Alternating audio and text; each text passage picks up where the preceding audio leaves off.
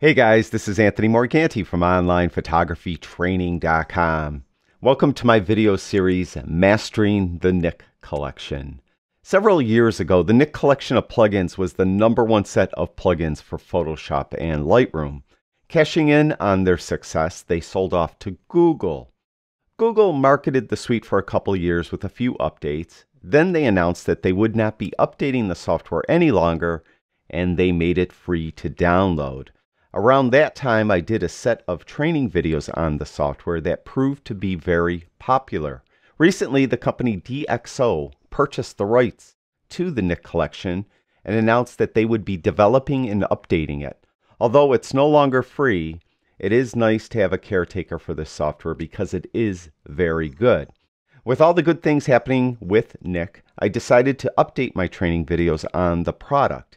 This new series will be more in depth and thorough than the previous series. Please be aware that I have no affiliation with the company. I'm not being paid by them to do these videos. And if you purchase the software, I will not be making a commission on the sale. With that said, if you could do me a favor, if you like these videos, please click the thumbs up button and share them. Finally, if you could make a donation, I would greatly appreciate it. That info is in the description below this video, along with a link to my Code of Ethics statement. Let's get started. Okay, we're going to continue our discussion of HDR Efex Pro 2 by Nik Software by using it as a Lightroom plugin. And as you can see, I'm in Lightroom right now, and we're going to send this bracketed set of three images over to HDR Efex Pro 2. Uh, this image is the one that my camera considered to be properly exposed. And then I have an image on either side of that, one that is one stop underexposed and this one that is one stop overexposed. Now I want to send them all over to Nik Color, or I'm sorry, HDR Pro 2.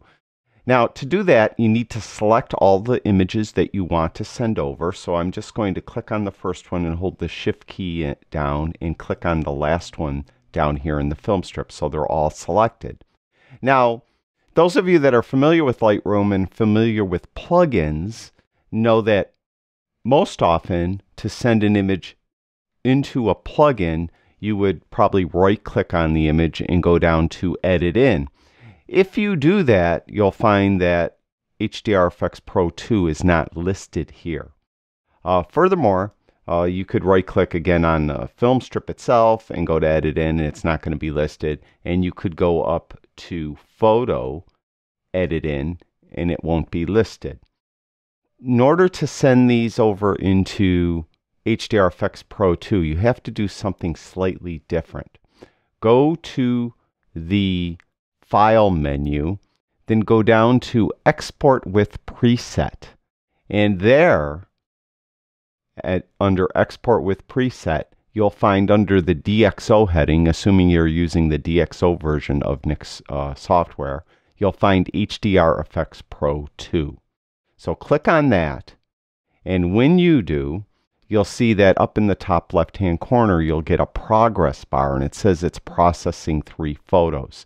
Now, you may remember I mentioned in the last video that HDR Efex Pro 2 does not work on RAW files. These are RAW files. These are Nikon RAW files. Furthermore, even if you had JPEGs here or TIFF files here, it's not going to work on the original images. It's going to create its own TIFF files for it to work on so that it's not uh, destructive. It's not affecting your original images in any way whatsoever. So it's going to temporarily create a set of TIFF files and merge them and come up with this. Now, it came up with a warning for this, and it says one or more images in the series have different sizes. HDR Efex Pro 2 will automatically crop the images to have the same common size and aspect ratio. I forgot to mention, and I should have mentioned, that in this set of images that I have over here in Lightroom, the only processing I did to it was lens corrections and nothing as far as the basic panel, tone curve, nothing else, except I did crop And what I really did in crop is I handheld these shots and they were all a little bit crooked. So I straightened them by clicking the auto button. So I had Lightroom straighten the images um, automatically for me. In doing so, it made them slightly different in size from one another. So therefore, when now we're in um, HDR Pro 2, it's coming up with this warning. It's no big deal. HDR Efex Pro 2 is automatically going to crop them so they fit, which is great. Now, uh, because it was handheld, we're going to align it, so I'm going to keep that checked.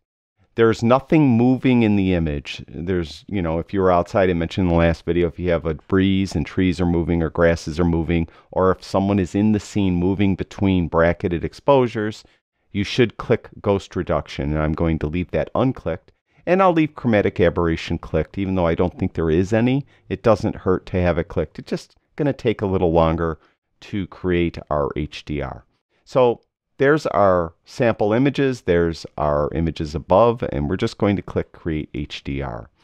And it will go through the process of removing the chromatic aberration, aligning the exposures, and then creating our high dynamic ranged image. And as I mentioned, it applies automatically that first uh, preset uh, in the bunch as soon as it does it. It should finish, and then we'll go from there. And I did mention in the last video that in this video, I want to talk more specifically about control points and how you would use them uh, to do selective adjustments in your image. Now, if we go up to the preset library, I mentioned that it usually will add that default one right there. And that's it. It added this default um, preset. And I actually like that. I think that uh, rendered nice. Uh, the stained glass windows are, are, nicely done, not blown out. That's the main reason a, a lot of times we'll use uh, HDR in real estate photography or if you're doing the inside, especially of a church or a cathedral like this is, uh, where you don't want the windows blown out, uh, you would use um, bracket your images and create an HDR image so that the uh, stained glass windows are rendered properly. So I'm going to go with this. Um, I'm not going to adjust any of the global adjustments because I like actually what it did. The one thing I do want to adjust though, uh, if you were inside of this cathedral, it was very bright like this, but the walls were a little bit whiter than what is being rendered in the HDR. Now I could come down to color and adjust uh, temperature and tint but that would affect the windows as well. And the windows were very blue, so I don't really want to uh, change the temperature or tint of the entire image because it will start to render the stained glass windows improperly. So I'm going to use selective adjustments. And in HDR Efex Pro, selective adjustments are control points. And I've talked very thoroughly about control points in several other videos but we're going to do it again here. Now I want to do something with the actual white walls here. I want to make them whiter basically. So I'm going to grab a control point by clicking right there, then go over the image and we'll start over here on the left and we're going to apply the control point right there. Now wherever you click, what HDR Efex Pro does, Pro 2 does, it looks for uh, tone, texture, and color and whatever is similar in tone, texture, and cover, color in this area of influence where I have this circle, that will be affected by the adjustments. And if you hover over the adjustments, you'll see a little tooltip of what each slider does. There's exposure, there's contrast, there's saturation, there's structure, and you'll notice there's a little triangle down here. If you click on that, you'll get more adjustments. We'll have blacks, whites, temperature, tint, and method strength. Now I want to go up here to temperature. And I want to make this a little cooler. So if I move it to the left, you'll see it starts to cool off that white. And it actually, or the wall, and it's actually making it a bit whiter, and that's what I want it because it wasn't this warmer tone of white. It was just a bit cooler, and that's the way it was. So my area of influence again is where that circle is, and it will predominantly adjust in that circle, and it will start to fade out the adjustment as it gets towards the edge of that circle and outside of that circle. So if you look at where it's adjusted now, it is slightly affecting up here. And the way you could look at this is if you go over here to where it says control points, and you can see control point one, you'll see there's a little box there. If you check it, you'll see that your image is rendered in this kind of negative look. Wherever it is white is where it's being adjusted, where the adjustment is happening. The more white it is, the more it's being adjusted. The less white it is, the more gray it is the less it's being adjusted. And where it's black, it's not being adjusted at all. So you could see that even though the area of influence is that circle, it is extending beyond the circle a bit. It is affecting other things past that circle. But that's okay. So we're going to turn this off by clicking right there. So we're back to our original view. But I want to extend this across the entire white wall here. So I could get a new control point and just keep adding them and adjusting the color temperature. But I think a easier way is just to duplicate this control point. It's very easy to do uh, with uh, Nik software. Just hold in the Alt or Option key. It's Alt if you have a PC, Option if you have a Mac. And we're just going to drag this to there. Then I'm going to drag another one over here. I'm again holding in the Alt or Option key, and then we'll drag another one over here. Now I have four control points with the exact same settings and really all I did was adjust the temperature slider. I made it a bit cooler. Now if I click here and get this negative look, you can see how predominantly the white is on the white wall. And that's where I want it. And you can see, excuse me, the uh, stained glass windows mainly are black. So that means that the adjustment isn't happening on the stained glass windows mainly. It is uh, maybe a little bit on this one. The way what you could do to remove it, there isn't a negative control point like there is in Color Efex Pro 4. But what you can do is just grab a new control point and put it over this. When you put a new control point over something, all the adjustments are kind of zeroed out. So you're going to be removing any uh, of the other control points from that area. And again, it's going to look for tone, texture, and color.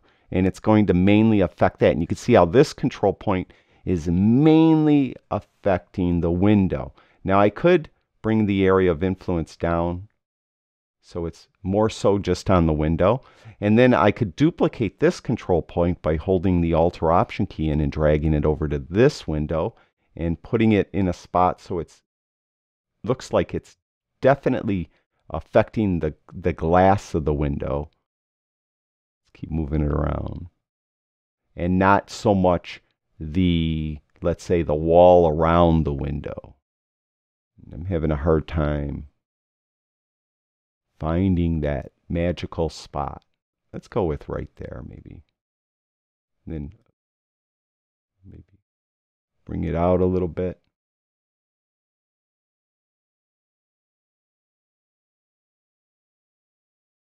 Yeah, let's just go with that. So that is that control point. So that's how you would remove the adjustment a control point did from an area near that control point. Just grab a new control point that is neutral as soon as you put a new control point down, not a copy, but a new control point, that new point is that new control point is neutral. It's basically all the global adjustments, and that will better render your image, I guess, uh, the way you'd like it. So we'll click there to turn everything off.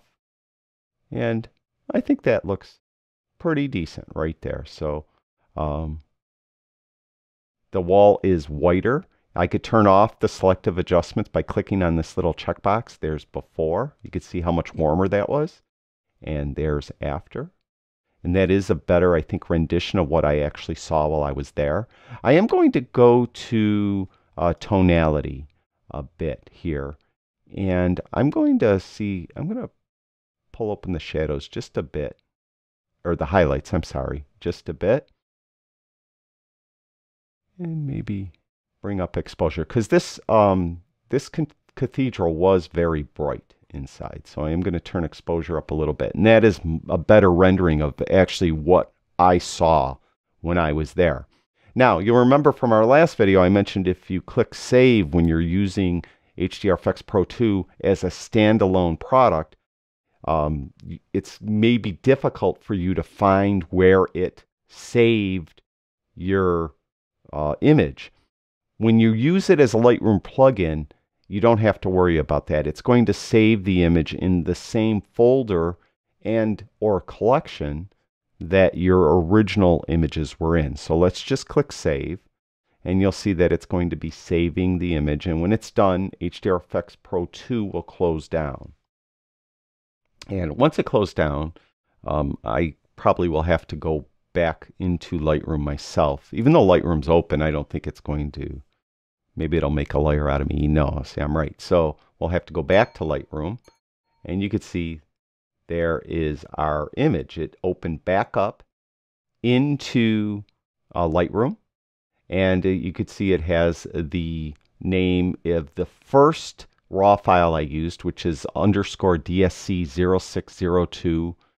And then it puts an underscore HDR.tiff. So there's our rendering uh, of our image. It put it in um, it put it in a uh, uh, collection of its own called January 10th, 2019. Um, so I could take it and just put it up here with the other images if I'd like. So there it is right there. Move it to the end. So here's our three original images, and there's the original one I mentioned. The first image was uh, underscore DSC 0602.nef. It's Nikon RAW file. That was one stop underexposed. This one was supposedly properly exposed. This one was one stop overexposed. And then here is our HDR rendering of that scene. And I think it did a really nice job on this uh, church here. So that's how you use HDR Efex Pro 2 as a Lightroom plugin. In our next video, I'll demonstrate how you would use it as a Photoshop plugin. Thank you, everyone that watches my videos. I truly do appreciate it. I'll talk to you guys soon.